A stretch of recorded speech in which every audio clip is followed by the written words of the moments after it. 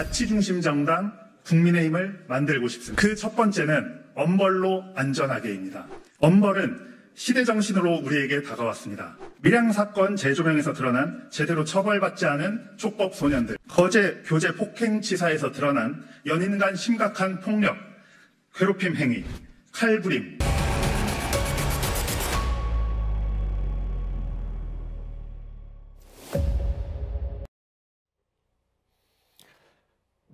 인사에 앞서 어젯밤 시청역 사고 피해자분들께 애도의 뜻을 전합니다. 명확한 원인 규명과 피해자 지원 대책을 촉구합니다. 안녕하십니까. 국민의힘 청년 최고위원 후보 박준영 인사드립니다.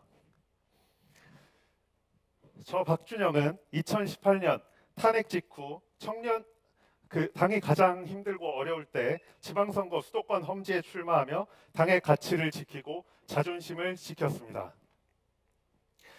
저는 국민 안보, 국민 안전이라는 보수의 가치를 외치기 위해 엄버랩을 직접 개발한 IT 개발자입니다. 대한민국을 바꿀 의지가 있고 실력도 있는 행동가입니다. 저는 과거 문재인 정부 시절 트위터를 통한 네이버 댓글 조작을 확인하고 직접 고발장을 제출하기도 하였습니다.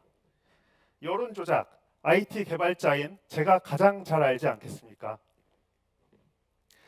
저 박준영은 국민의힘을 가치 중심 정당으로 만들고 싶습니다. 저 박준영이 외치는 가치 중심 정당의 그 첫 번째는 엄벌로 안전하게입니다. 최근 밀양 사건이 재조명되고 있습니다.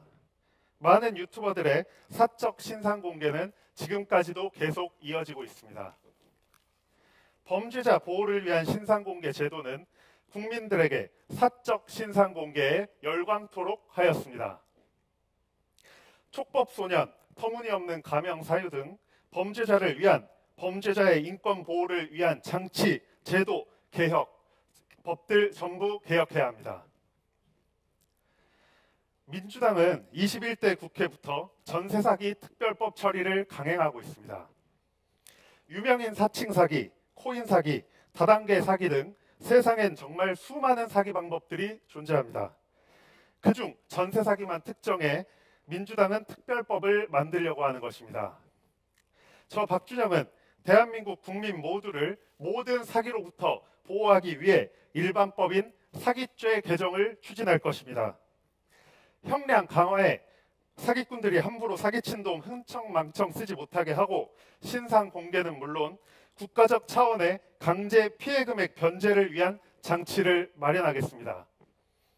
그렇게 하면 민주당이 지금 추진하고 있는 사기꾼들에게 피해자들로부터 시달릴 고통을 덜어주고 편하게 다음 사기를 준비할 수 있도록 도와주는 성구제 후회수는 필요하지 않습니다. 이 외에도 최근 동탄 헬스장 무고 사건에서 하나의 원인으로 지목된 과도한 비대칭을 이루는 무고죄 형량 바로 잡겠습니다.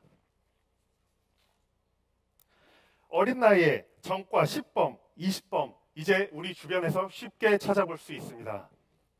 하물며 거대 야당의 전 대표도 전과 4범입니다.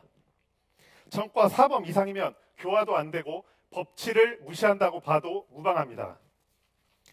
전과 사범 이상에 대해 국가 차원의 관리 감시하는 시스템을 만들어 우리 국민들 보호하겠습니다. 이게 제 출마 선언에 대한 유튜브 댓글인데 안전이 민주당의 가치라고 생각하는 그런 댓글들입니다. 민주당은 그동안 몇 개의 불의의 사고를 가지고 우리 국민의힘을 보수를 무너뜨리기 위해 가짜 뉴스도 만들어내며 물어뜯어 왔던 그 모습들이 그들 눈에는 안전이란 가치가 민주당의 전유물로 보여졌다고 보니 정말 안타까웠습니다.